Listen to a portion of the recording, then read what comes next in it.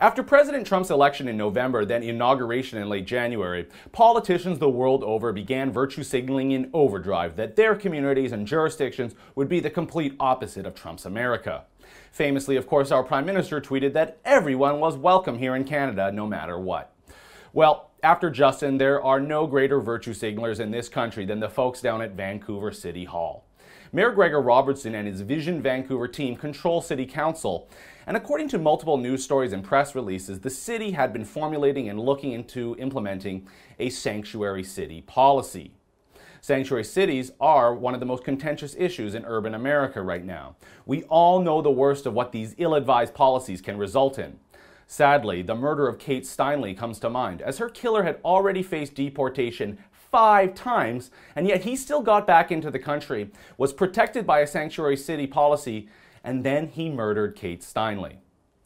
And with dramatic increases in illegal immigrants entering into Canada across our southern border, as our Faith Goldy has so remarkably reported on back east, sanctuary city policies in this country are going to become very, very dangerous very, very quickly.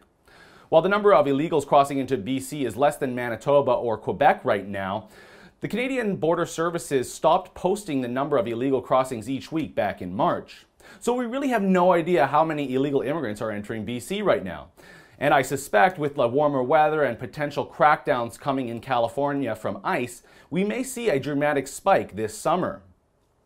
Because of this move by the city, we needed to find out more. So we filed a Freedom of Information request with the city, and just this week got back a 200 page packet with all the details on how the city of Vancouver formulated their sanctuary city policy.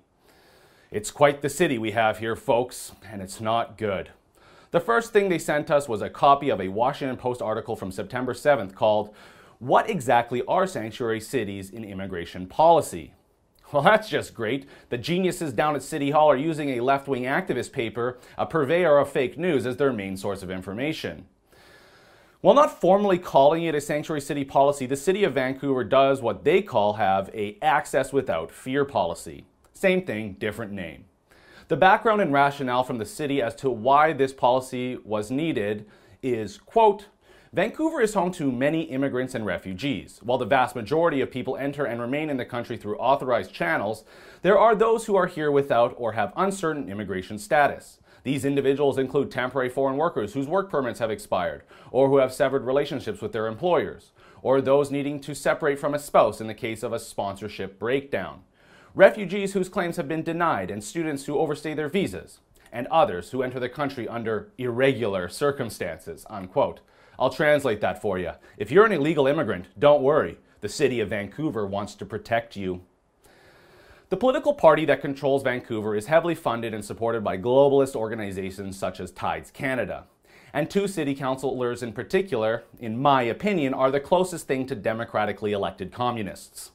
That would be Geoff Meggs and Andrea Reimer, who are all over this sanctuary city policy and everywhere in this Freedom of Information package. So, not surprisingly, the city decided to consult with every activist group under the sun in creating this policy. In particular, an activist group called Sanctuary Health seemed to have quite a bit of input with the city, at one point demanding the Vancouver police, quote, must end their working relationship with Canadian Border Services Agency, unquote. Crazy. But that's not all. Sanctuary Health demanded the city cut funding to anyone or any group that does not adopt a sanctuary policy. And then, just for good measure, they demanded money from the city to produce some kind of propaganda video. I'm not really sure.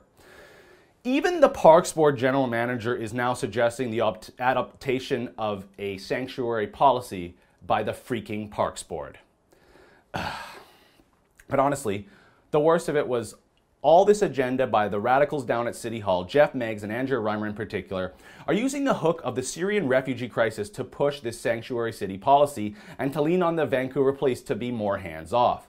Let me read just one point from a city document on the Syrian refugee crisis. Quote, begin building a movement to sustain current level of interest generated by the Syrian refugee crisis by connecting key sectors with existing community initiatives targeted at vulnerable populations, unquote. So this seems to me like the city is only interested in crafting this policy because they can capitalize on the interest surrounding the Syrian refugee crisis? Wow.